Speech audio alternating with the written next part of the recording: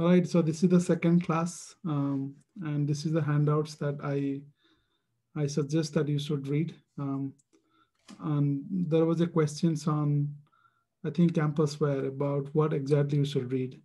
Well, I don't expect you to remember everything. Like for instance, for homework one, you would require to identify which types of contaminant it is or which class it is. So this is uh, the list of contaminants here. So you just have to look for them inside it. Uh, but most importantly, you should know the difference between different class of contaminants. For instance, you have D, you have a different list of contaminants, D, F list, um, K list, uh, U list. You should know at least the difference, what those differences are. Uh, not necessarily very specific each individual contaminants, but at least the, the concept behind the differences. Um, so that's all um, for the handouts and the homework. And let's get to the today's class. Uh, so today we are going to learn about how do you identify different hazardous waste type.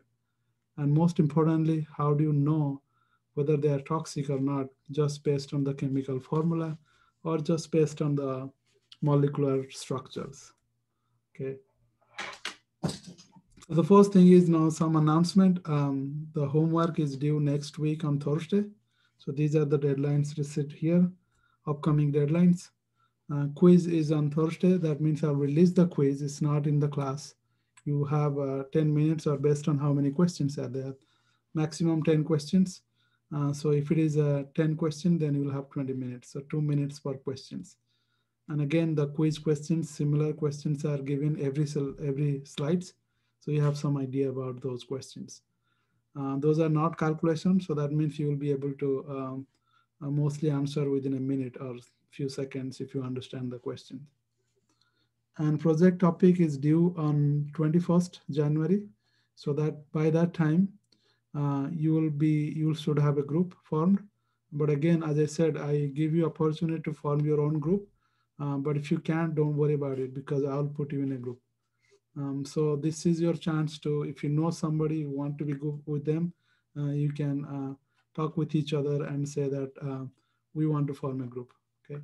Uh, but if you don't know anybody, just don't worry. I'll just post a, uh, I'll just put you guys uh, in different group based on your interest that you uh, fill up in your, um, in your, uh, um, that questionnaire. but I'll also list some of the group um, project um, project titles or mostly project concepts so that you know if your interest is one of those projects, then you could be a, as a group there. So I think my best um, best advice is you should form a group if you know somebody or if you have a similar interest in terms of topic. That makes it a lot easier to work with. Right, so we'll form a group by next class. Uh, next class is Tuesday. So by that time, what you can do is you can go to Campuswire and say that I, am looking for a group and I'm having this interest on this particular topic if you have any. Otherwise, just say that, no, then, then uh, you can start forming groups. And then whoever is not part of any group, I'll put them based on your interest. Again, I saw that total 46 students are on Campuswire. Um, that means you know, we have still uh, more than 15 students who are not registered to Campuswire. I communicate lots of information on Campuswire. So if you're not on Campuswire, you are missing out those. Um, and again, if you're sending me email, I may may not respond because I do, um, I lag behind on emails. There are so many emails that I have to go through. Uh, but if it is on Campuswire, I see it because I check every, uh, at least I'll check once a day or twice a day. So if you question are there, I'll respond within that 24 hours. Um, okay, so that's all about announcement. And today we are going to learn about the objective is two. No? So as I said, I asked you that you should look for the uh, label on a on anything that you use. For instance, if you use a uh, use a facial uh, screens, or if you use some products and in your kitchen, uh, just look for what they are made up of. You know, so that those chemical structures tells lots about them. So we'll learn more about it if you just post them or if you have interest on that. But today we are going to learn why certain uh, name structure or known contaminants behave certain way. Um, so first thing we're going to learn is how how does EPA test hazardous materials? How do they know whether this is hazardous or not? Because by assumption, everything was used was non-hazardous. Once we start learning more about them, we say, okay, this is hazardous. For instance, asbestos. Asbestos was a miracle a substance in before 1970s. Everybody was using asbestos for everything. So now it become hazardous because people found that it can cause lung cancer. Uh, so everybody has to know what's the reason behind it. Uh, so that's why we are going to understand all those today. The first thing is to identify. Uh, US EPA has uh, made a list of hazardous chemicals. That's the handout that I just showed you. And they have found that it has known toxicity or it has known um, reaction. So as I said, there are four different class or four different characteristic. We learned that last class. It can catch fire, it can be corrosive, it can be very reactive, or it can be very toxic. toxic. So if one of those four, it is hazardous. And if it is not listed within those and you know that there is a known consequence of that particular chemicals uh, to humans or animals, even at low dose, then it is hazardous. Because EPA doesn't have the capacity to go through all the chemicals. If a chemical is causing harm, that is hazardous, okay? And um, then the last one is, does it contain any toxic constituents listed in that list? Uh, the list I sent you or I show you. Um, if it is, if, even though that's not the main constituent, even it is a little bit there, then you, it, it can be treated as hazardous. So that means effectively, if, if your answer is yes to any of these three questions, it is going to be hazardous, okay? Ultimately, what determine is toxicity whether it cause any toxicity, any harm to anybody. Okay. Uh, so based on where it is produced, how it is handled, uh, mostly where it is being processed, you can call different list. It makes it a lot easier to uh, to group them. So that's how these lists are there: F, K, P, uh, U list. Um, there are also universal list. Universal list means something that is produced in household product. For instance, battery um, batteries are uh, handled in certain specific way. So that's called universal risk, uh, universal uh, chemicals, okay, because that's handled specific way. So again, your goal is to look for the differences. What's the difference between F and K or K and P? Uh, so those are the things I want you to understand? So when I have a questions on quiz, those are based on only that, not basically looking for very specific uh, pollutants. Uh, so again, EPA follow this particular process, uh, as you see over here. First thing is, is this a solid waste? Solid waste means the definition of solid waste that EPA does. If it's no, then you don't have to worry about, uh, at least, you know, it's not subjected to these particular regulations.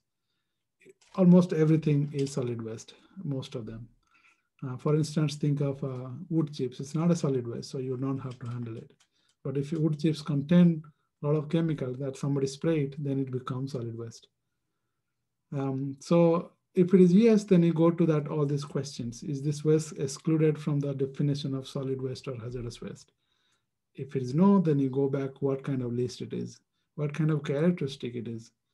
And then um, if this, uh, then you see if it is listed and those are the list I provided.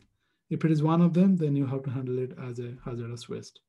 Again, just to give you a reminder that these are the four different characteristics we discussed and you should think of them every time you see a list. And here are the common four examples of uh, hazardous waste that we normally deal with or you, you might heard about this one.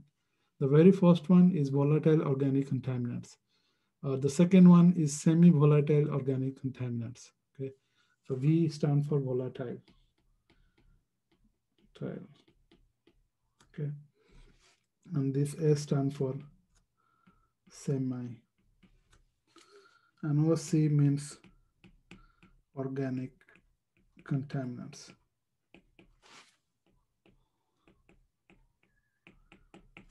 Okay. Uh, so these are the list just to give you ideas, you know, and these are the the reason the volatile organic contaminants are present in most cases because we use a lot of solvent. Think of if you if you paint anything it's a solvent because you don't want it to be wet. Uh, it doesn't want you to be um, things to evaporate so that it dry out quickly. So that's why lots of solvents are used. Even for dry cleaning, it's used a lot of solvent. Um, then um, you have also pesticides used for uh, in agriculture. It's used in garden. So these are the common pollutants you might find. And then metals. Metals, almost everything you use have metals. Uh, so we, we these are the common list of uh, pollutants that you may consider. Um, and then there are new type of pollutants that is not before present. For instance, PFAS. You might heard about this one more, uh, which is a fluorinated organic contaminants, which is uh, coming from um, uh, all your, you know, all your, most of the hydrophilic or not hydrophilic, anything that you don't want to, to be dirty very quickly. For instance, your, um, your winter coat has a coatings that makes it not stick with water.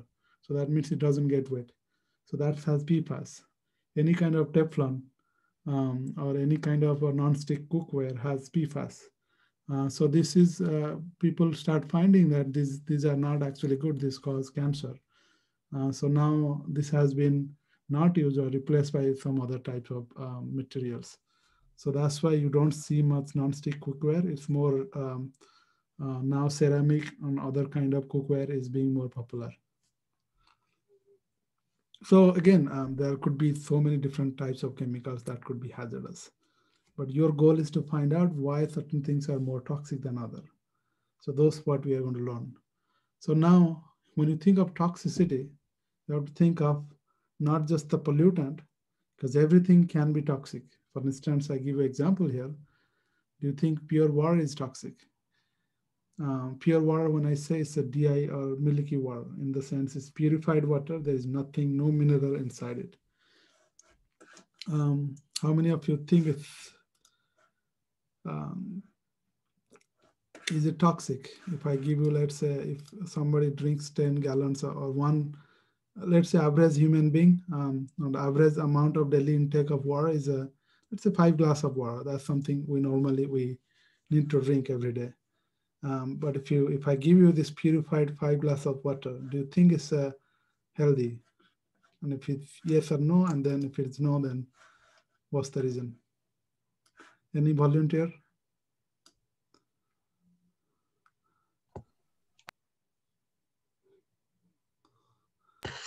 I feel bad because I just remember this from 153, but if nobody else like wants to say it, then I can say what I remember from 153.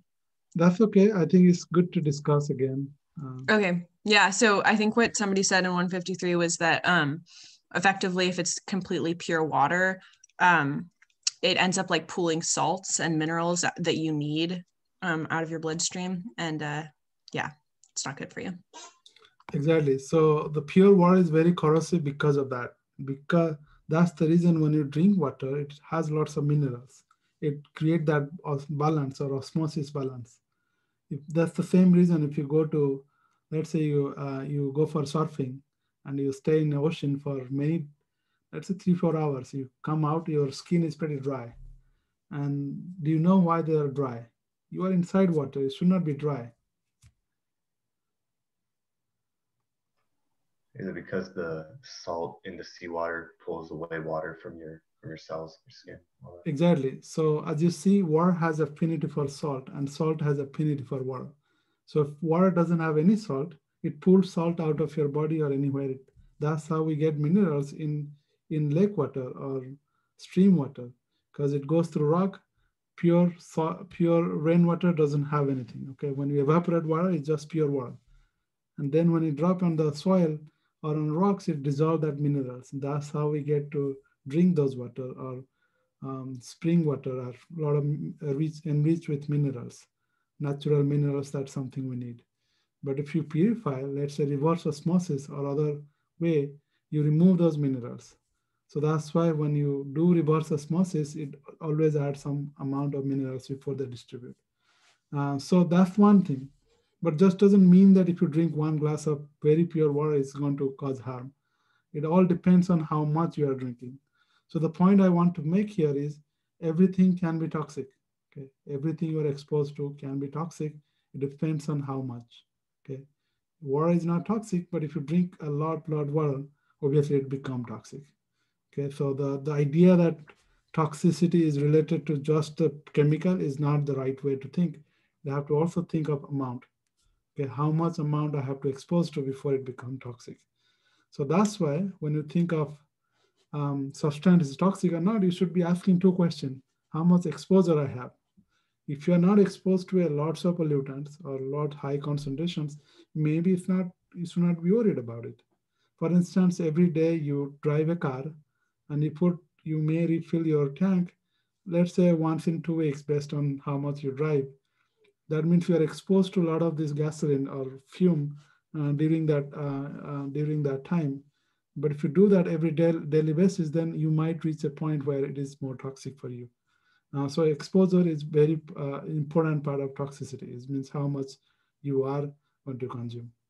Now, what we are going to discuss today is more of reactivity. Okay, so toxicity is exposure times reactivity. Um, so even a pollutant is very reactive. For instance, let's say battery is has lots of toxic uh, toxic chemical inside it, but you are not exposed to it because you're not handling battery, you're not opening it. So that means it's not toxic to you. Uh, you can safely use battery. So that's why toxicity is a combination of exposure and reactivity. And we'll learn about reactivity now.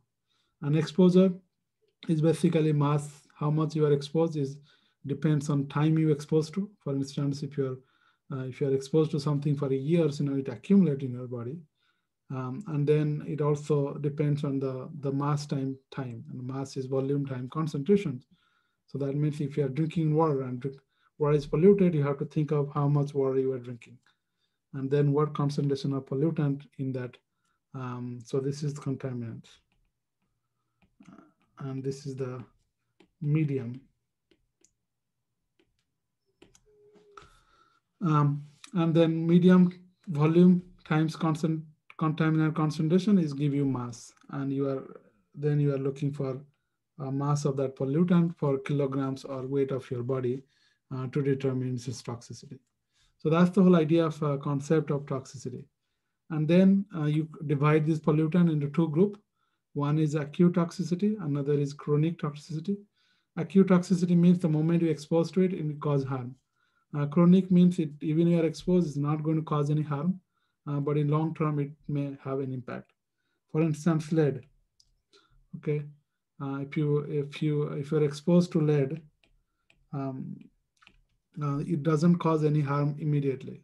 But if you're if you are exposed to lead for a long time, then it start you will start showing effect.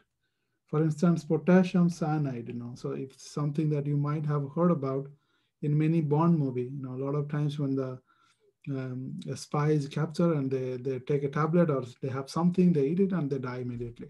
So that's acute toxicity. So cyanide is something that that um, that affects the balance of ions flow in our cell. So the moment you uh, eat a little bit of those, that uh, disrupt that cell balance. That means it can't. The cellular function is not going to continue uh, exposed to high concentration of cyanide. And so that's why, you know, if you see a cyanide tablet is this reason why it is toxic, you know. So that's another example of toxicity. Um, so, but a lot of times EPA, what they do is they look for this concentration. It's called lethal dose.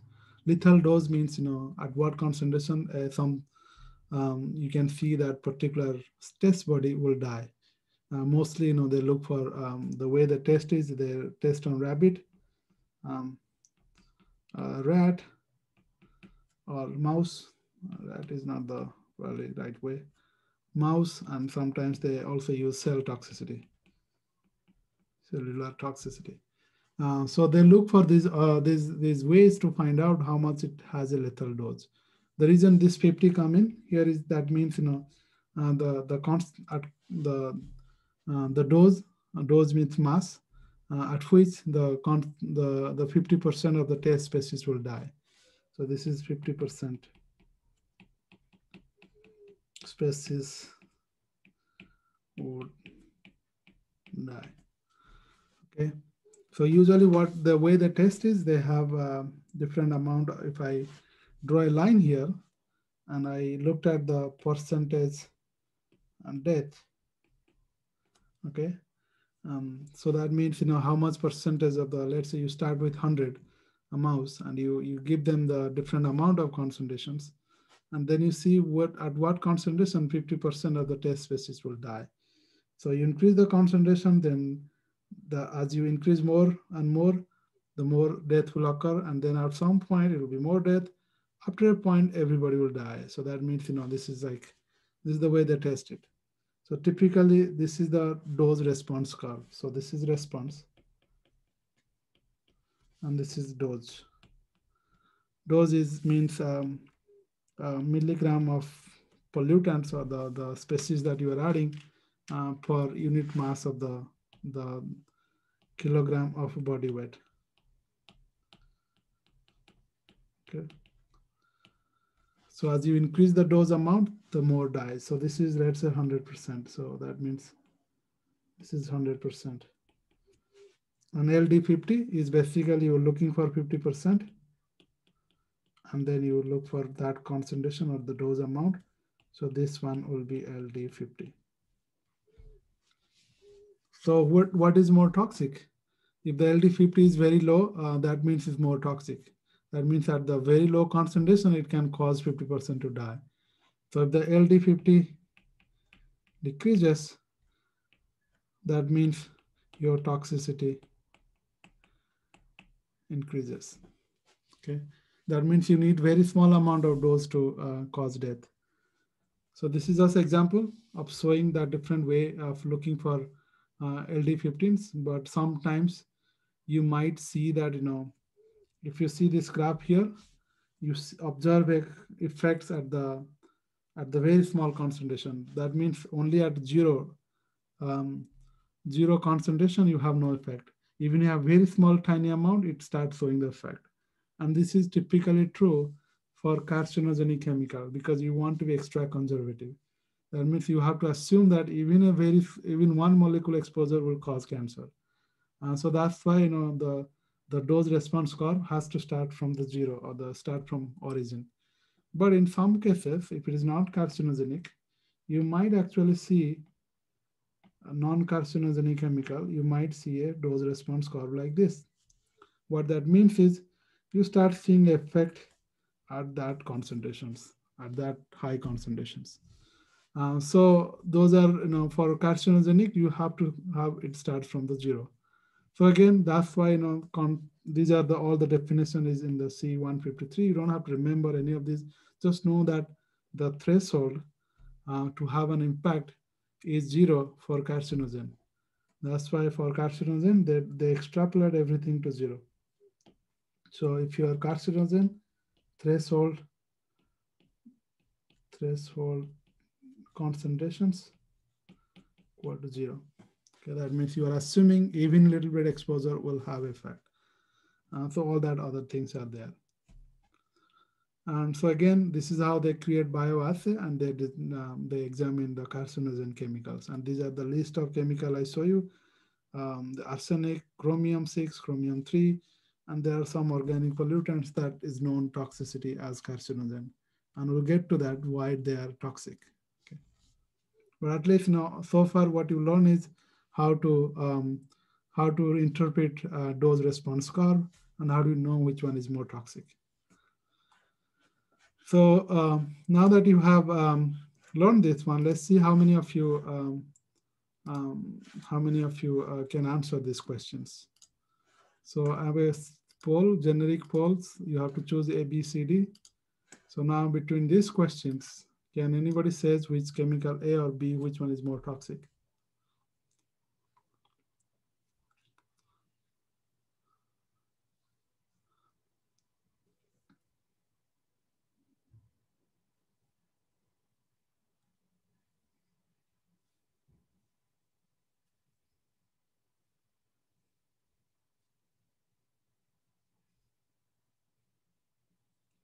All right, so 97, um, going to close the poll now. So your answer is 97% says, um, um, this is 97% says chemical A is toxic, 3% um, says chemical B is toxic. Um, well, uh, the answer is A. The reason, as I said, um, if the LD50 is low, that means it's causing toxicity even at very low level Because if you need a lot amount to be toxic, then it's not really that much toxic. You know, we are comparing between two. So that's over here. You know, if the LD50 decreases or the smaller amount, then it's become more toxic. That means it's more toxic. Okay. So now between these two,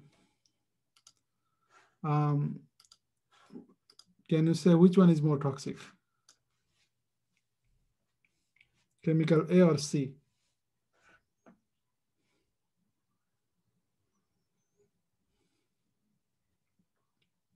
Just based on LD50.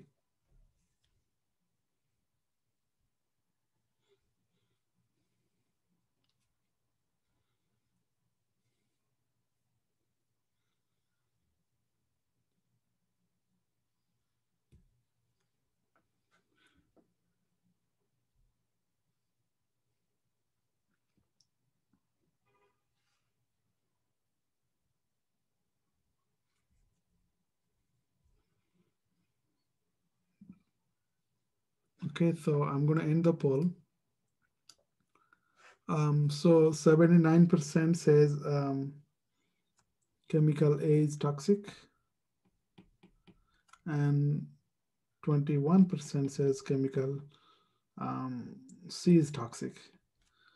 Um, so again, um, if if if you are looking for just LD50, that I would choose that answer. But if I ask you, both K, uh, chemical A and chemical C are carcinogen, and I ask you which one is toxic, more toxic, then I would choose chemical C. The reason is when it comes to carcinogen, you are you don't really care about concentration anymore. You are looking for the exposure. Even at low concentration, it is going to cause cancer. So as you see at the below this concentration, so if I'm let's say this is the in this concentration range, chemical C has more toxicity um, than uh, chemical uh, A. Uh, so, or at least you know you see more more death at low concentrations. Okay, uh, so then you it become tricky. So that's why I wanted to see that differences. Any other questions so far on toxicity?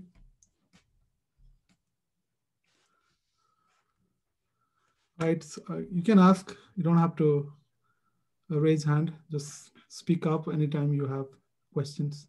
Oh, thank you. Um, I was wondering if there was a way to measure toxicity, not just in terms of like LD50 or mortality, but like quality of life or something like that. Yes, I think you know that's a good point. You know, it's not just you know death is the only reason why people should worry about. You know, there are stuffs that exposed to that would cause adverse effect. And so, for instance, as I said, PFAS can cause uh, birth defect, something that you know is traumatic uh, as a parent. So I think uh, they do uh, now they are actually having different types of effect. So when I say over here mortality, that's just the one way to look at the effect. People do look for different effects, but again, those takes time. The very first test is always mortality. Thank you. Mm-hmm. Again, oh, yes, sorry. go ahead. Um, my question was um, for questions on quizzes or midterms or anything like that, where we're having to look at a percent mortality graph. Um, will those questions mainly be concerned with like which chemical is more toxic at said dosage, or you know, are we going to be looking at specific ranges more yeah, so? Let's say if I ask this question, I'll ask the con- the the effect at different concentration range. Okay. Thank you. Right. So again, uh, any questions, stop me anytime. Okay. You don't have to wait for me because this is a, uh, it's important that you you ask without think without uh, being confused for the next slide and slide. So stop me anytime you have um, questions. All right, so we learned that, you know, either way, you know, the first thing you have to do is hazard identifications. You go to the list of EPA, that handout, and you see the if this chemical is listed in one of them, that means you know this can be hazardous.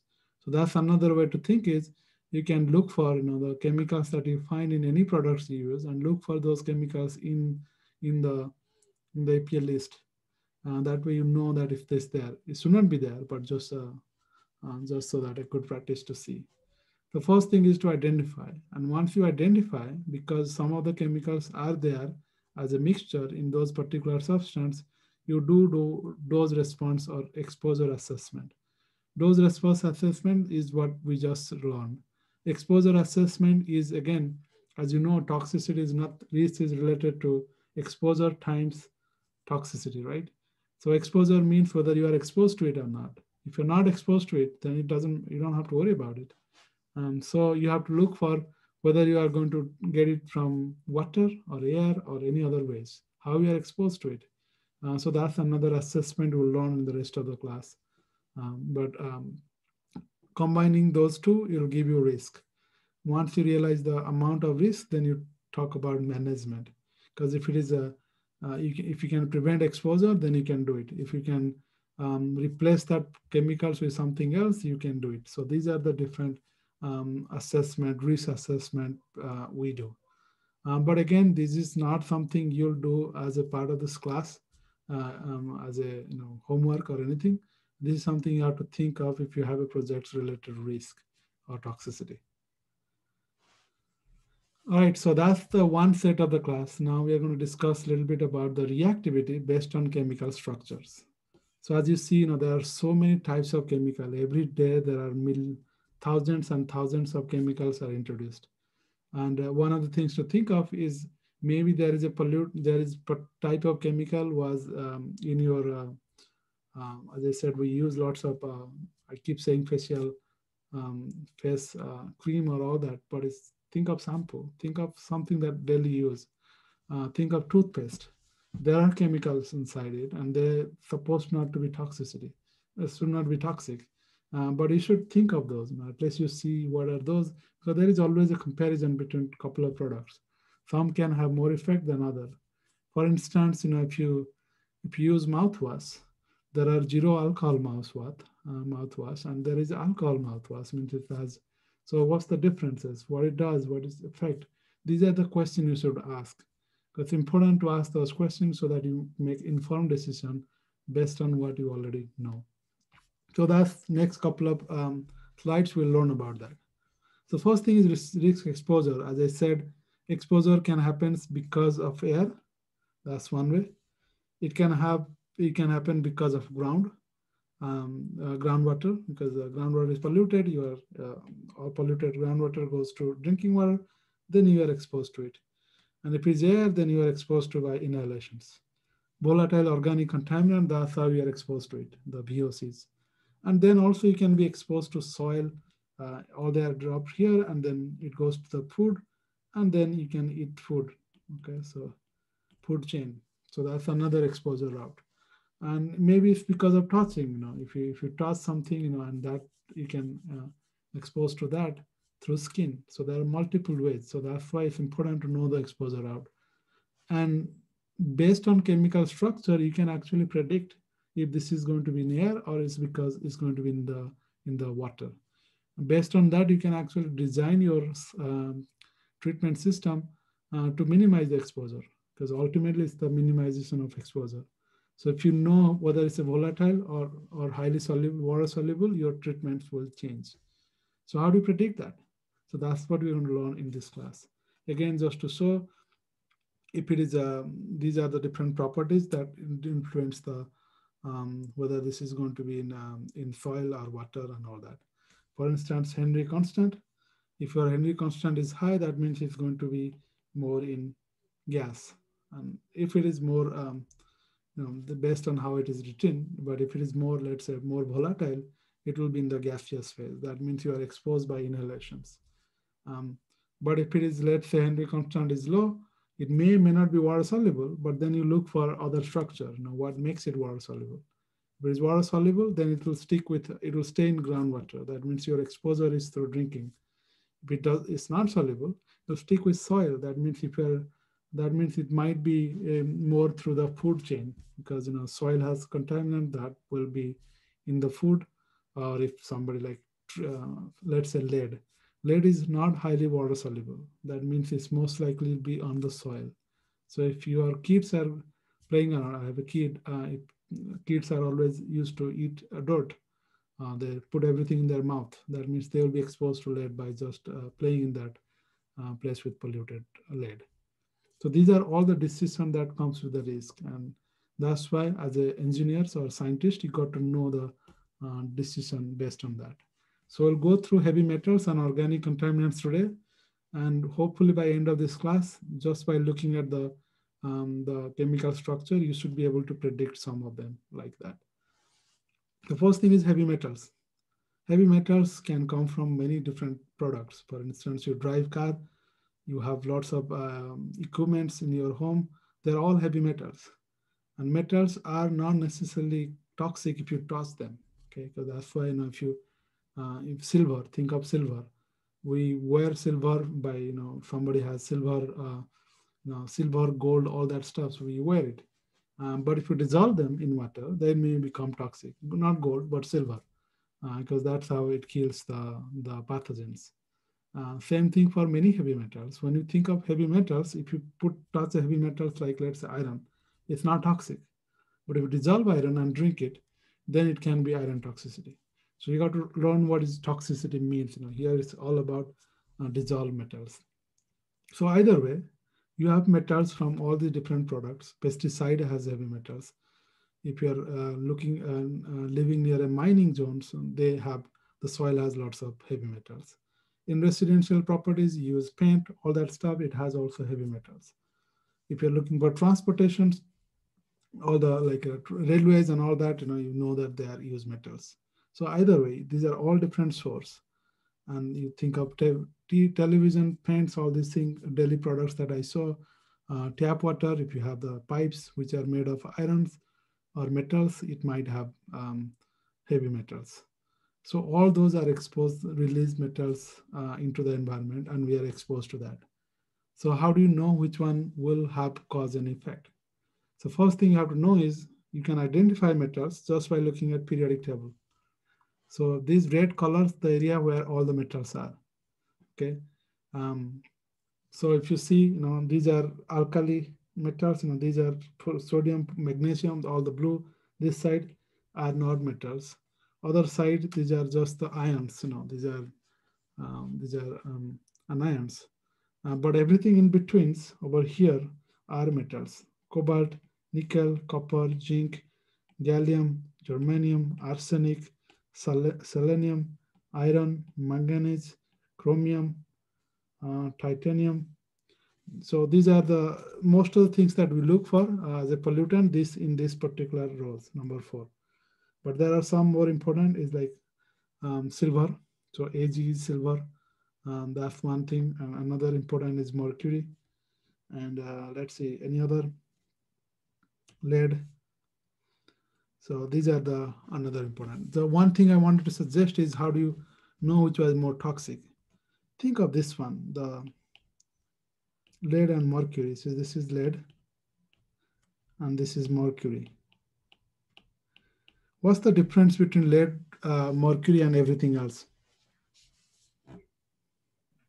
Mercury is liquid at room temperature.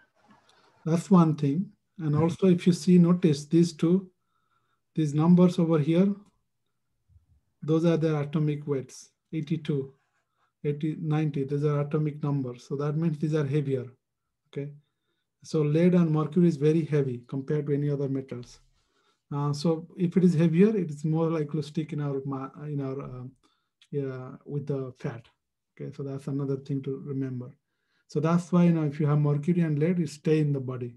It doesn't go out of the body. And we'll talk about that why if the larger atom, why it is more, more toxic or more reactive. And uh, that's one thing. And second thing you have to think of is everything in between here, uh, why some are more toxic than other, okay? For instance, particularly arsenic, selenium, uh, you probably heard about those arsenic toxicity and why they are toxic. One other thing you have to notice is arsenic is same place as phosphorus. Okay, if in the same column, they behave, they have a similar electronic structure in the out, outer cell. So that means they may, the reaction, reactivity is related to electron, uh, how many electrons they have outside. So arsenic and phosphorus has very similar electronic configuration in the outer cell. Uh, so that means they may trick our body in the same way. So that's the reason arsenic is toxic because phosphorus is essential element in our body. Arsenic is not, okay? Um, but it has a very similar structure when they are in water. Um, so, so phosphorus is like phosphate. Same thing, arsenic is like arsenate. It react with oxygen and it form that bond. So when, um, when our cells see a phosphorus, which is a nutrient for us, or phosphate, it thinks that it's arsenic, or it thinks that it's a phosphate if it's arsenic. So that's why you know it it uh, it absorbs the arsenic, thinking that it might be phosphorus, and that's how the toxicity is much higher. Um, same thing, other thing you'll learn about all that. So the, I what I want to suggest is you should look at those in the periodic table, and you can have some sense just by um, just by comparing the uh, their location in the periodic table. So this is what you are going to look for. Every time I have elements, you should look for their atomic weight. Okay, so these are atomic, uh, not atomic numbers. So if the atomic number, so these are atomic number. What that means is it's number of protons, okay? Protons in the nucleus, that's what atomic numbers. And also given indications of what's the atomic weight. Uh, so if it is a high atomic number, it most likely will have atomic weight is high. And as you see, atomic weight here is 70, that's atomic weight. And the reason it's more than 33 is because every nucleus has protons and neutrons. So 33 neutrons and then rest of them are uh, 33 protons and then rest of them are neutrons. Uh, so if it is heavier, that means it's have a different reaction, reactivity than uh, other. Uh, so that's one thing you have to look for. And then you have to look for is the outer cell electrons. How many electrons in the outside, because that causes the reactivity, okay? So for instance, this is um, in the periodic table. This is, if you remember the previous one. If it is 1A, that means outer set have one electrons, okay? Um, so that means it has one excess electrons.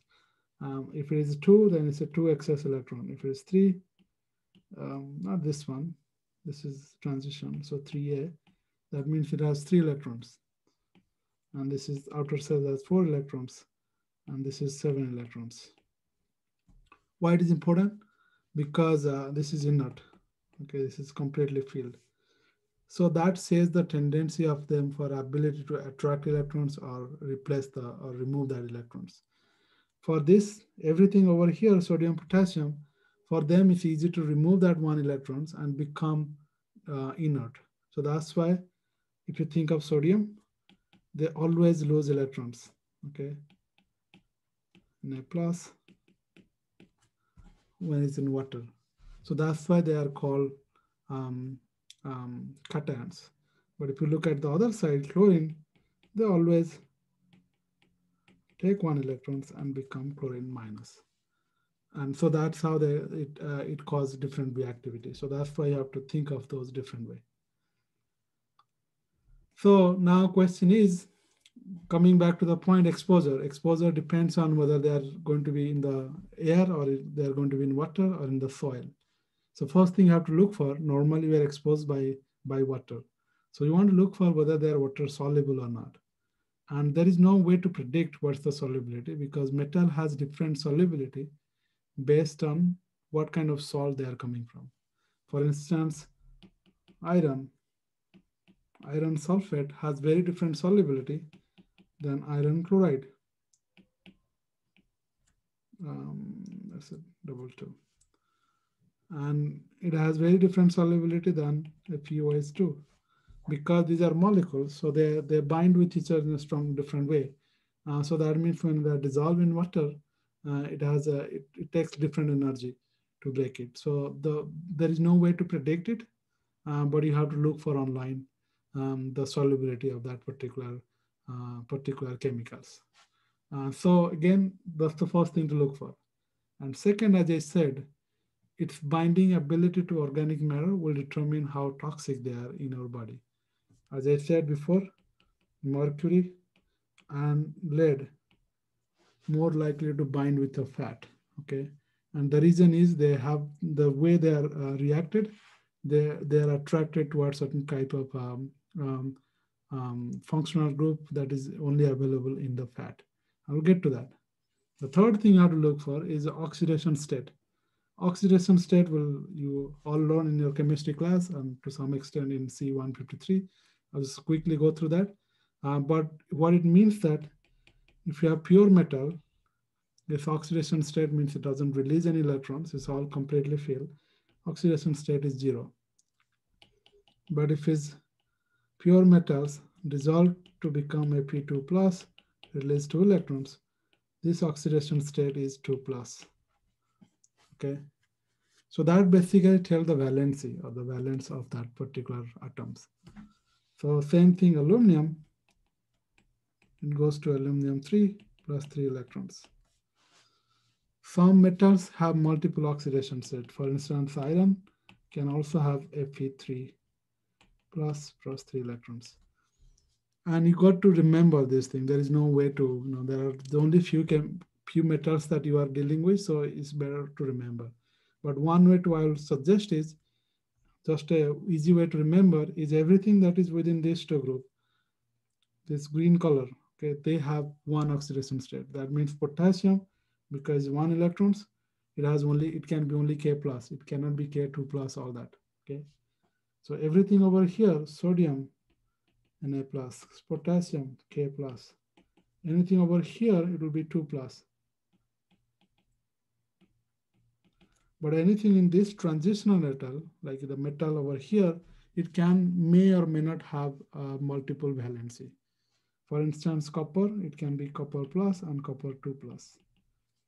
Iron, 2 plus, 3 plus. Uh, if some other, like for instance, zinc, it cannot have multiple, it has just one.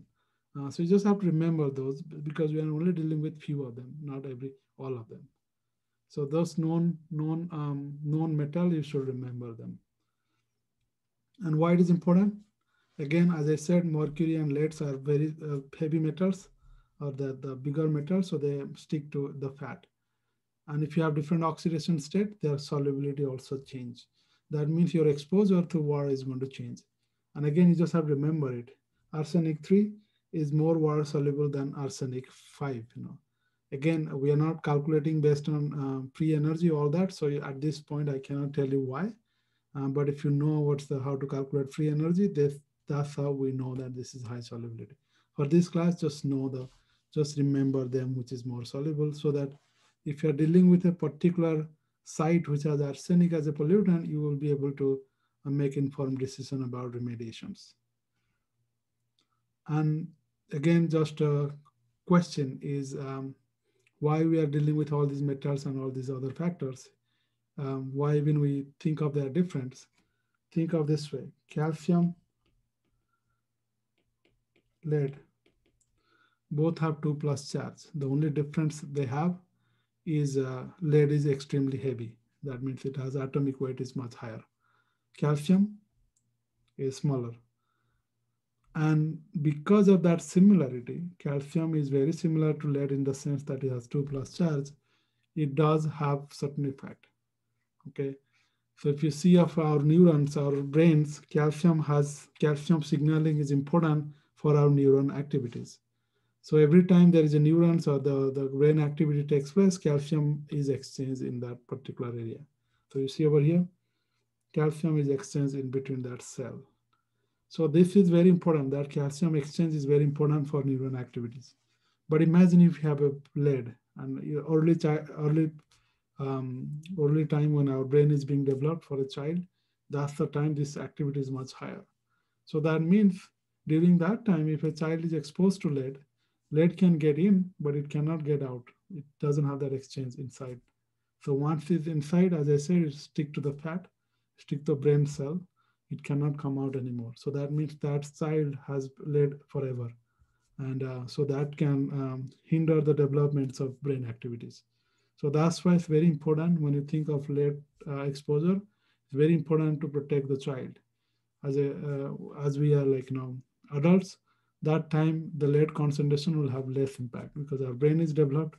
So we don't really, um, and our body weight is higher. So the typical concentration that we are exposed is is not very high compared to our body weight.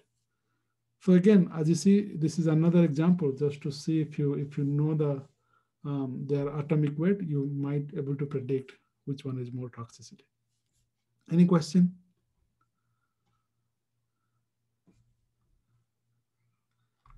Another thing that you have to think of is for environmental engineer or environmental scientist, we are mostly dealing with exposure through water. So when you think of metal, that's why I said you touching touching iron is not going to cause any toxicity. But iron, high concentration iron in water can cause iron toxicity. And uh, so that means we are dealing with the reactivity of that particular metal's ion in water. So the metal ion itself has a different reactivity if it is in water or somewhere else. The reason is, as I said, water is very reactive and corrosive. So every time there is an ion inside water, um, water itself is going to react with them. And this is how we react. For instance, think of this here, sodium. And water has oxygen and hydrogen. So all the water molecules are because of the difference in their uh, oxygen and hydrogen electronegativity means how how likely they attract that shared electrons. Uh, oxygen typically pull the electrons towards it. So that's why you see this bond is a little bit angled. I think it's nearly 107 degree. So because of that change, you know, it causes a dipole moment because that charge is imbalanced now. Most of the negatives are towards oxygen, positive are towards hydrogen. So that's why this is a polar solvent. Polar solvent means it has some ions. And because of that, anything ion inside water is going to react with that, um, that uh, water molecules. So if you think of sodium here, um, all the water molecules, the, the oxygen is negatively charged. So they will uh, arrange the oxygen around it. So that means water is going to engulf that. Oxygen will all align near the sodium. Same thing opposite way. If you have chloride ions, which is negatively charged, all the hydrogen has little bit positive charge. So that means all the water molecules will uh, um, opposite way uh, arrange across the chlorine. So that means the reactivity of any particular metals depends on how many water molecules surrounding to it. So that's why anytime you think of toxicity in water, think of do they attract lots of water? If they do attract lots of water, it will not cause much toxicity. And that's what exactly happened for sodium and calcium. Sodium and calcium are very small um, atom. That means nucleus is very close to the outer cell. That's why they attract lots of water molecules. If the atom be, become bigger and bigger, nucleus is too far away from the outer cell, so they don't attract that much, um, that much water. So that's why when you have one lead inside your water, it doesn't get bound by water that much. So that means it can react or stick with anything without worrying about that water that surrounds it. But calcium, it will so engulf by water that it doesn't react with other things because that water has to be displaced before it can react with anything else. So that's why we have to think of hydration sphere anytime you think of toxicity of metals. Hydration sphere means if you have a metals, let's say positively charged metal, the moment you drop that positive charge, because it dissolved, that electron is gone, now it's positively charged, for instance, iron 2. Now all the water molecules, so water is going to will engulf that one. So that means these waters are tightly bound with that metal atoms or metal ions. So anywhere that metal ions move, it moves along with that water. So that means this is called hydration sphere, okay?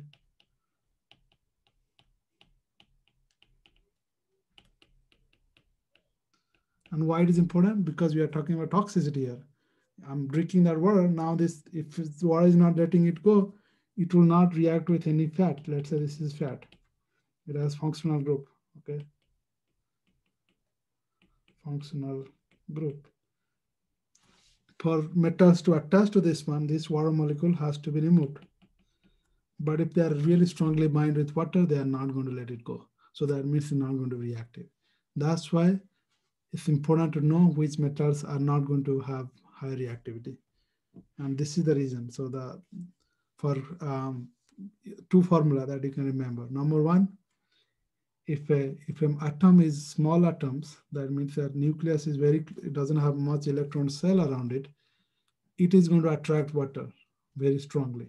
So that's why anything is a small atomic number, it has more water molecule around it.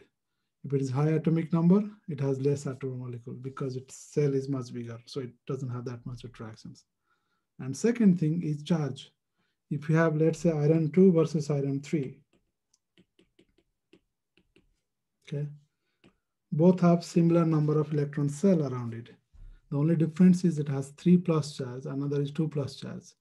And if I ask you which one will uh, attracts more water, it's based on charge. As you know, water has this little bit charge. That's how they're attracted. So whoever has more charge will attract more water. That means the reactivity will also decrease because you have to displace that water before it can react. So if I just ask you a question where the hydration sphere is higher, first look for charge. If the charge is high, hydration sphere is high.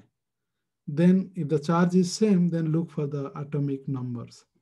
Uh, the atomic number is smaller, that means if the atom is smaller or the nucleus is smaller or very close to the outer cell, you'll have more water. So that is written here. Um, the hydration sphere, the size of hydration sphere increases with increase in charge of ions and decreases with uh, increases in size of atom. So that means if you become bigger and bigger, that the size of atom increases, charge doesn't increase, that means your hydration sphere will decrease. That means your cesium is more reactive than sodium. That's why, you know, if you think of cesium toxicity, it is because cesium is higher atom, it doesn't have much water molecules around it. But if you go compare between sodium and magnesium, sodium has Na plus, magnesium Mg2 plus. Magnesium has more water around it because two plus charge, it will attract more. So that's the, all about um, hydration sphere. Again, we are discussing hydration sphere because it does affect the toxicity. So now let's have a quiz just to see how many of you uh, learned this one.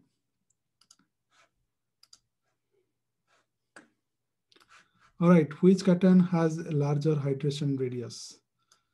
Sodium, magnesium, aluminum. I'm just going to highlight where is sodium. This is sodium. This is magnesium this is aluminum okay so if you are in the same row that means outer cell is not changing the only thing change is charge and here I give you charge which which one will have more um, larger hydration radius needs more water molecules surrounding it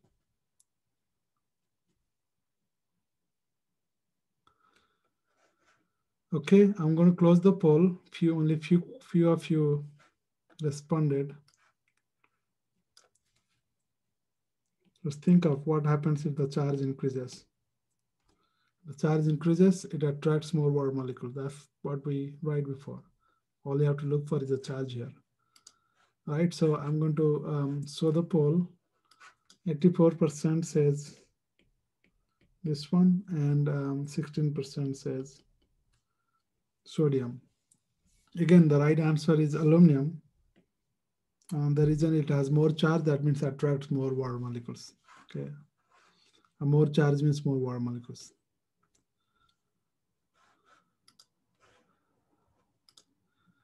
Now ask you another questions. Which cation has a larger hydration radius? Here in this time, I didn't change the charge, but I changed the size. Okay, so this is magnesium, calcium, strontium.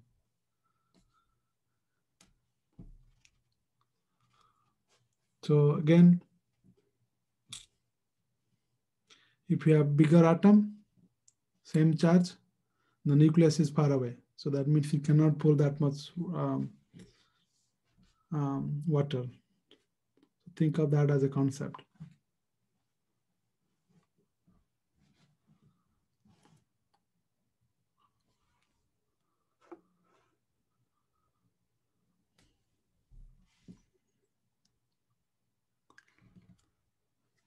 Okay, I'm going to end the poll in a few seconds.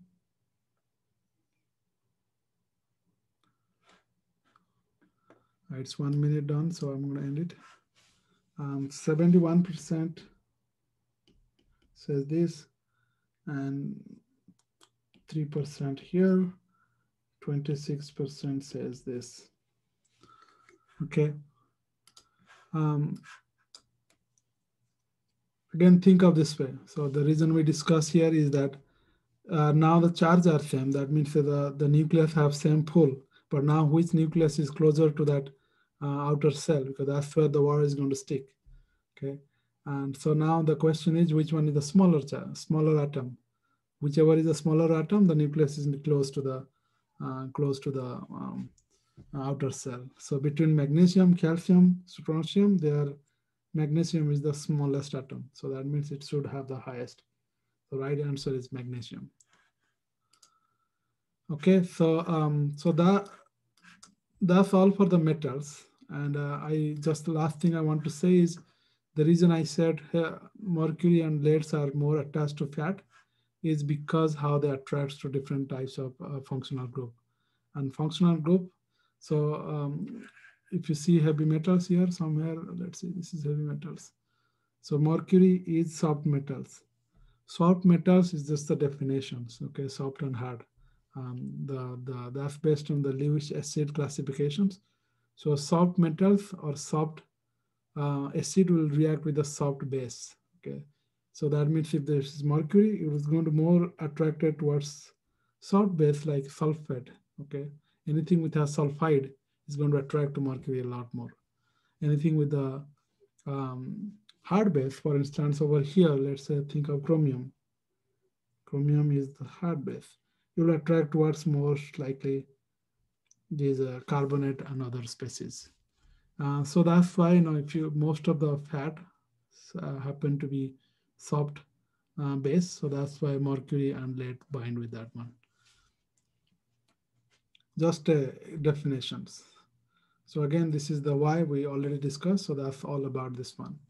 And again, just to idea that, you know, why toxicity, uh, the solubility is different is based on the different oxidations group. Means whether it's three plus or two plus, it makes a big differences. And uh, which one is more tox? How do you know what's the oxidation state?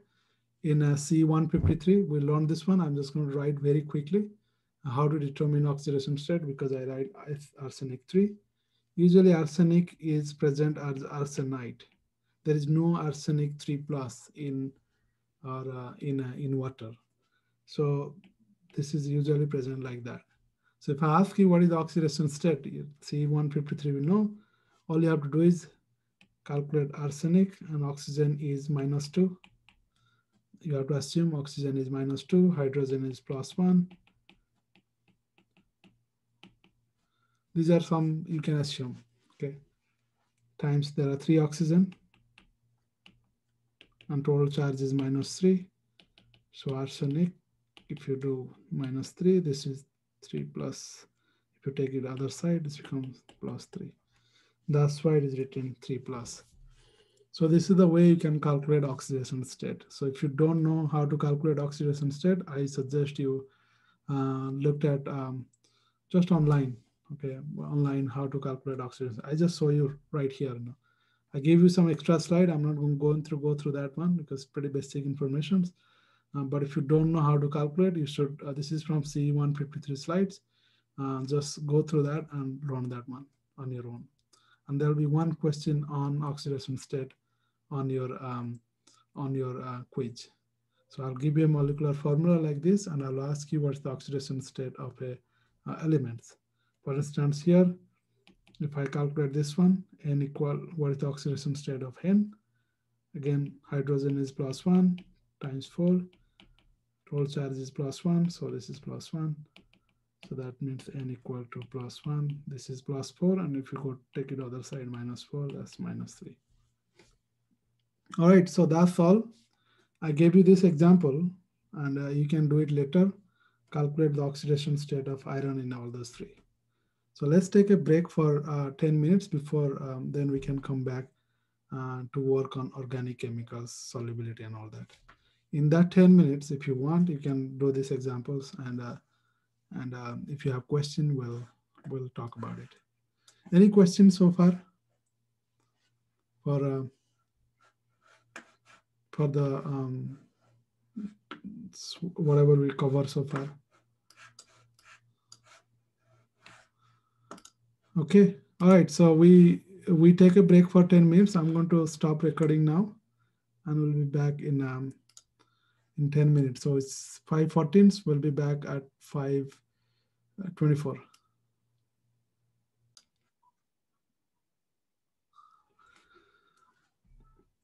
Okay, so while you are away, um, I ask you to calculate the oxidation state of ions in all these different um, compounds or molecule. And I, I think I gave you a wrong formula. I don't know, hydroxide has a, hydroxide has two here. Otherwise this is not uh, thermodynamically possible. So we corrected that and then I calculated. I hope you can match your answers. anyway, so just one um, one questions uh, will be on oxidation state on your quiz next week, so you should know how to calculate it. Right, so now we learn everything about um, um, heavy metals. What we don't know is um, organic contaminants, organic chemicals, which by far the most um, uh, important pollutants when it comes to um, remediations or hazardous chemicals because a lot of um, organics, there are only few heavy metals. The periodic table, it has like 5, 10 or 20. We don't have much, you know. But when it comes to organic chemicals, they are like infinite. You know, there's every every uh, different change in organic structure, you have a different chemical. So you have thousands and thousands and chemicals are introduced every day. So that's why it's very important to know organic contaminants to some extent. So these are the list of organ we discuss about this. So the list of chemicals or metals that you are interested or things to look for is uh, roughly these are. Uh, there are some written not written here, but these are the typical heavy metals. Um, but if you are thinking of organic contaminants, there are many. This is just a few list of them. Um, uh, so now when you see this chemical structure or name, it doesn't mean much. Uh, but a lot of times the moment you see, let's say this is chlorobenzene, dichlorobenzene, it means there are two chlorine in a benzene atom, uh, benzene molecules. Uh, so what it does, it, it tells you the functional group. And those functional group will tell you what's the behavior of that particular one in, uh, in nature. For instance, benzene, benzene is, this is benzene. If you know, this is a benzene ring if you think of chlorobenzene, all it means is it has a chlorine here. It says 1,4-dichlorobenzene. It means there are one, two, three, four, five, six different positions, and four position has chlorine. Same thing, nitrobenzene means you know you have benzene molecule and it has one mm, nitro group. So this is how you can define different structure. And by having those different group, another way to let's say this one. This is another functional group. So having these different change in structure, it completely changes toxicity and behavior.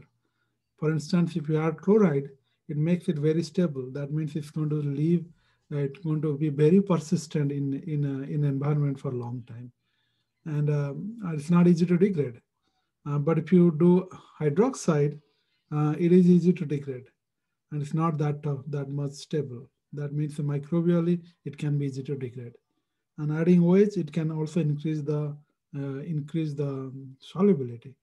So that's all these things you are looking for. Anytime you look for organic pollutants, you look for what's the structure, what kind of functional group it has. It can tell you a little bit more about solubility as well as the volatility natures. so first thing you have to know is a little bit background that organic contaminants can come from many different sources. Almost everything we use has some kind of solvent or some kind of organic um, chemicals. If you look at your uh, toothpaste, it has organic chemicals. If you uh, if you looked at your uh, almost anything, there is a number, there is a name for it. Uh, so it doesn't mean that it's toxic. You know, you got to look for what they are structurally mean. Um, so um, they come from different applications. Uh, as I said, the, by far the biggest application for organic chemicals are solvent. We use solvent for many things. And then second most is pesticide, all that other aspect. Um, paint, all that factors. The third one is a very recent is fluorinated organic, which is PFAS. It's coming from this uh, um, fire extinguishing foam. It has lots of these fluorinated organics.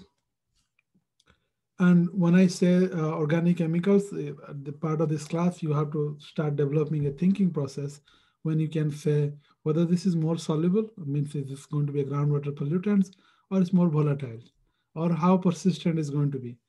Uh, you may not know a lot about it, but just by looking for very specific functional group, we don't have lots of functional group, only few of them, which I listed here. So just by looking at them, you can tell whether this is soluble or not. For instance, here I wrote it.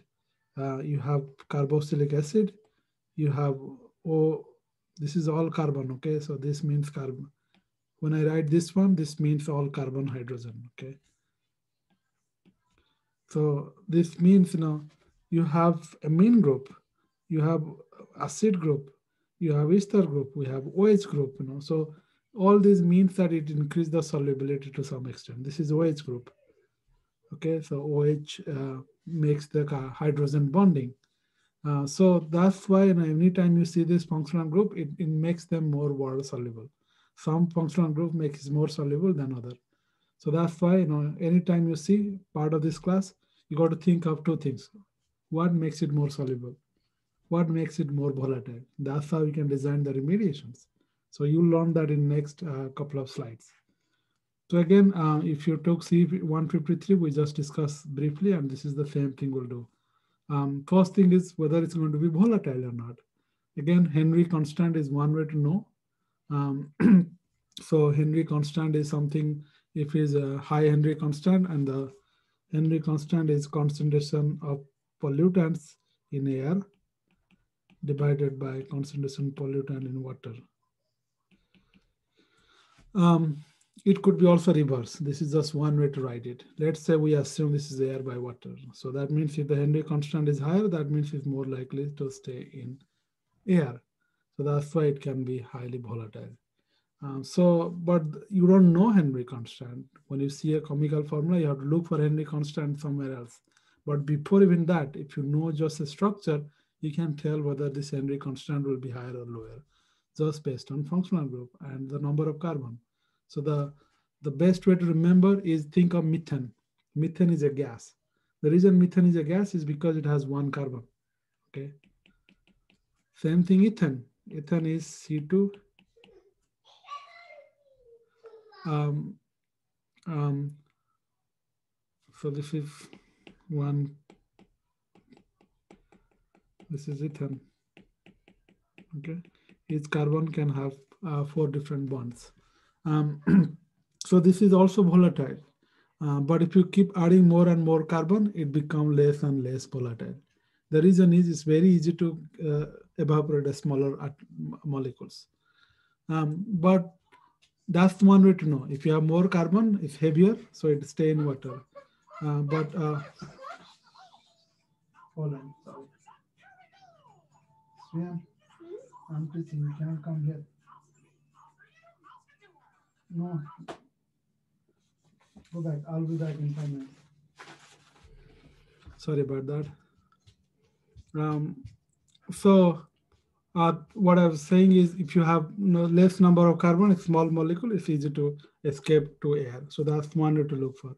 And that's all applied less than five or six carbon atom. If it is more than six or seven, it's not volatile. So it's not applicable anymore. They're all going to be not volatile. And the second thing is also the, the functional group that can make it stick with water. So any of this functional group that you can see over here, that will make it stick with water or stay in the soil. Uh, so if you have more functional group, that will we can call it as a um, as a uh, um, less uh, less volatile. So um, so that's why you know as I said, you know if you if I give ask a questions, you'll be able to find uh, if it is a water soluble or not just by looking at the functional group. I gave you an ex example here um, there are two, two organic molecule, ethanol, and this particular one. And I said OH group will form hydrogen bonding. COOH group, which is acidic, they also form hydrogen bonding. Anytime you see two less, two different in electronegativity um, atom bonding together, O and H, uh, that's the electronegative. Same thing, N and H. They are highly different in uh, electronegativity, so which makes it uh, more likely to interact by hydrogen bonding. Uh, so anytime you see this functional group, you, you know that these are highly soluble. So based on that, over here you see this OH group is going to form hydrogen bonding. Whereas this OC, organic and carbon, they're not that different in hydrogen bonding. So that's why it's not going to form it. So if I ask any question, just first look for the number of carbon. If there is no functional group involved, then look for number of carbon. If less carbon, it's more volatile, smaller molecule. If the similar number of carbon, look for functional group. If it is, it has any of this functional group, then it becomes less volatile. So that's just one way to predict. Now, second thing is, um, so I just explain everything over here. If you have longer chain, it's less uh, uh, uh, water soluble, okay? So for instance, about three over here, you have three different uh, contaminants and um, the only difference between them, they have same functional group. That means they can all form hydrogen bonding. And the only difference is this has less carbon. So if I ask which one is more volatile, then the one with the less carbon. Any question on that? Same thing for water solubility. If you have more carbon, it doesn't really makes it water soluble. Um, the reason is uh, water is hydrophilic. You know that's the whole reason of hydrophilic. If you have more number of carbon, the water cannot arrange around it. Uh, so they should stay away from water, bind with fat, bind with other other aspect. So if you have more number of carbon, so solubility decreases. So these are the only few things you have to remember. Functional group, number of carbon, that can predict your solubility as well as the other things. So now let's see how much of you guys learn from it. Um, again, just to summarize, I'll write it here. If you have more carbon, less soluble. If you have more functional group, hydrogen bonding functional group, it is it is more soluble.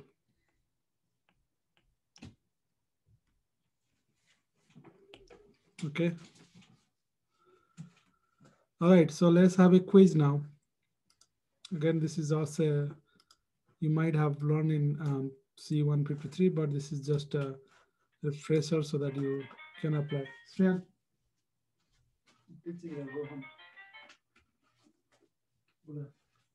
Sorry about that. Which one is more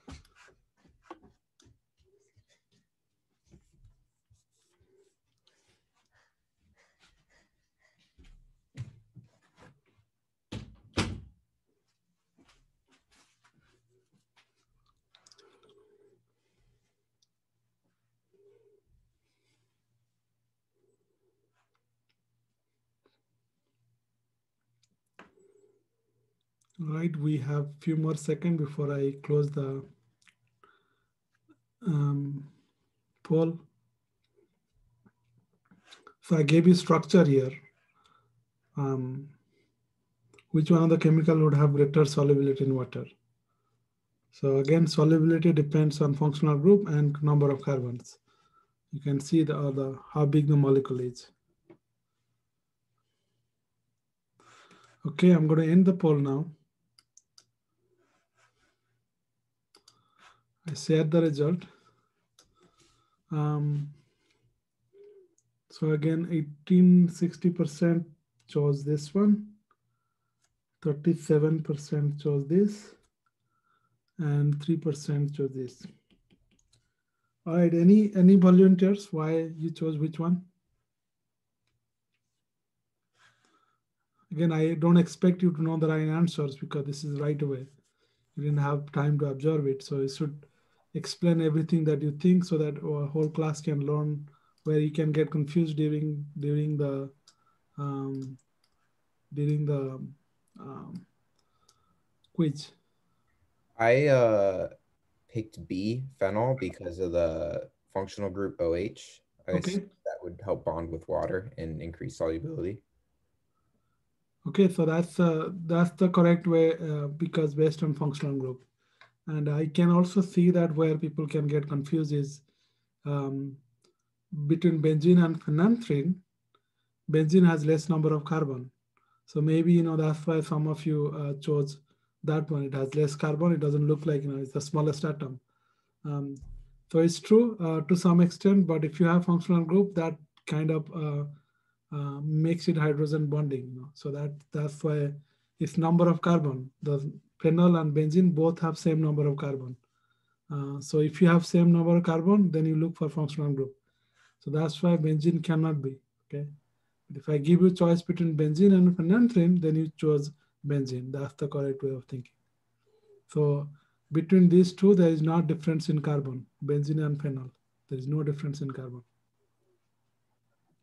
Um, for this example, could we also use the Henry's law constant if we know it's smaller and there's like a greater concentration in water? No, this is uh, well. I I think this is written there just more on volatility nature. Okay. Uh, so it's not about the solubility. Just just because the periodic table was there, that's why I wrote it there.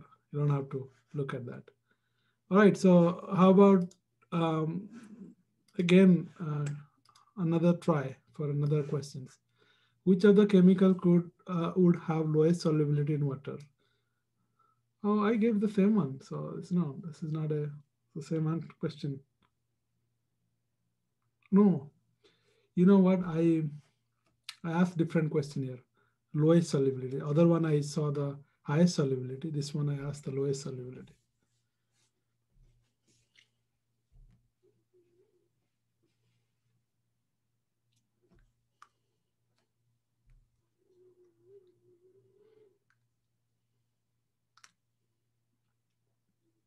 Lowest solubility is the um, one which has the highest number of carbon or uh, no functional group.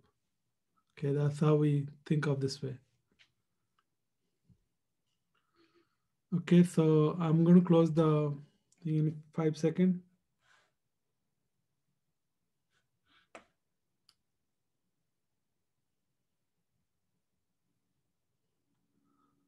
Okay, so I end the poll share the results. Um, so 93% will write this is the right answer. Okay. So now 93% chose C and 2% or 7% chose A. okay. So again, the question one, which one has the lowest solubility? Again, the solubility increases with a decrease in number of carbon. Okay. So that means if you see which has the lowest, I said lowest solubility, which has the most number of carbon. So as you see over here, this has six carbon because one, two, three, four, five, six. This is six carbon, carbon number. This is six, this one, one, two, three, four, five, six, seven, eight, nine, 10, 11, 12, 13, 14. This is 14 carbon.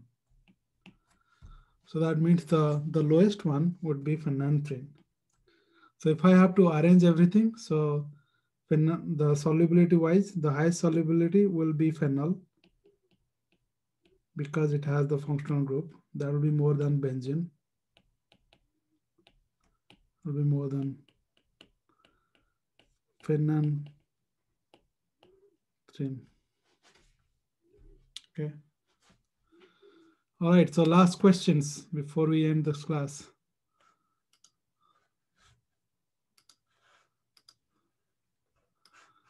Which molecule would be um, more likely to diffuse into the air, means which has more volatile? Why? I probably answered this question already. So the one which cannot form hydrogen bonding would diffuse more because both have similar number of carbon atoms and every atoms are similar. Atomic weight is exactly same. two carbon, six hydrogen, one oxygen.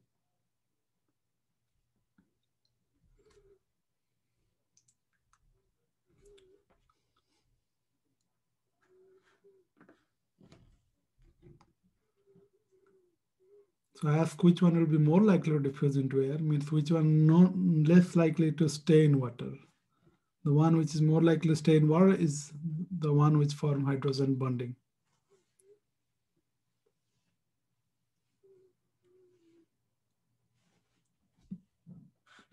Okay, there are still um, four students have not responded yet. I'll give you three more seconds.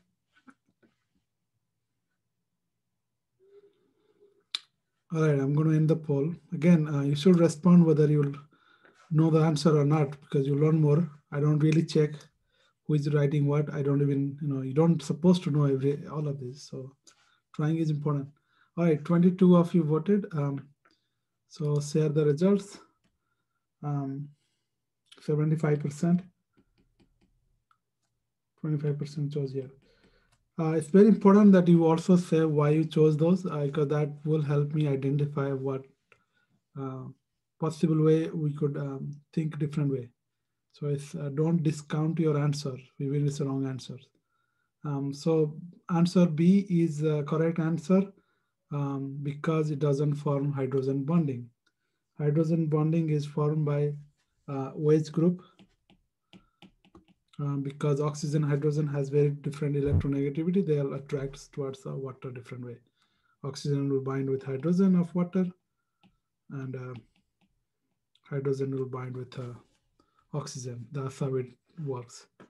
So the answer is this. But any any volunteer if you want to explain possible way to get confused um, for number a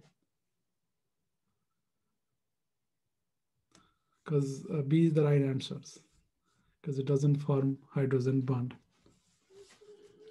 But again, as I said, you know, there is one way, uh, there is one right answers, but wrong answer is also important to think about and discuss. Uh, so I don't definitely judge any of you for wrong answer. In fact, you learned a lot from wrong answer than right answer. Uh, so it's very important for students, all of you, to share your answers um, or a different way of thinking because that's important for us to understand.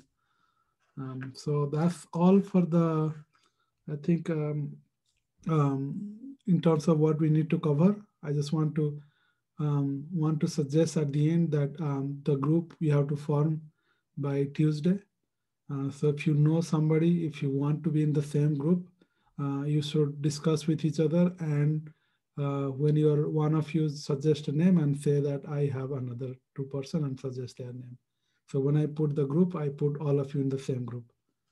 Okay, so you can start doing that on Campuswire. And don't send me email on that because I'll lose track of email. But if I see on Campuswire, it's easy for me to uh, aggregate them. And so choosing a topic is not important or required to form a group. Uh, first you form a group and, and I um, I'll also suggest because you can choose topic later. So again, the, the topic can be uh, anything. As I said, I just give example of topic. Um, I'll also post title of uh, last year project so that you have a sense of what other students did last year. Um, so here is the different topics that you could think of. You could think of a remediation method. If you go to your syllabus, you know there are many remediation methods we, we, we will cover. Uh, we can pick one of them if you are interested in, in, learning about any of one of them. For instance, bioremediation is one of the popular um, uh, techniques. And you can think of how to use bioremediation to remove a specific pollutants. Uh, and same thing, some other type of techniques. And then the second one is um, is a site specific. For instance, if you know a particular site in LA or anywhere in the world that you are concerned about and you wanted to uh, think of how to design a treatment or remediation design for that site, we can also do that. Uh, but for that precondition is you should know there is a there has to be a report somewhere that can explain what the site about because you cannot just imagine what pollutants are there. Um, and the third one is technology specific. If there is a new techniques that you wanted to learn more about it, And then you can say that I want to use that as a project. For instance, anaerobic digester, something is used to create compost or create uh, energy or methane gas. That's just another uh, one example. And then could be also problem specific. For instance, if you want to learn about how to recycle plastic or how to uh, use plastic for different way, that's another project. Or some, for instance, e-waste. Uh, nowadays, there are so much e-waste, electronic waste that you don't know how to handle it. So you, if you want to learn more about that, you can use that as a specific project. So you, you just have to define the problem. You say, okay, this is the problem I want to work on. And then another is sustainable specific because uh, think of, you know, everybody is going to use solar panel on top of their, uh, uh, um, their uh, um, let's say solar panels all the times we are going to use for energy. Uh, what's the negative consequence? Are we dealing with the waste that comes from this particular type of practice? Is this the is, what kind of waste management will be better to manage all this used solar panel? What kind of toxic from that will come? So again, these are all open-ended questions. There is no right wrong answer. I just want you to choose a questions that you are interested in, and this uh, uh, this uh, class will allow you to learn that and will train you for that.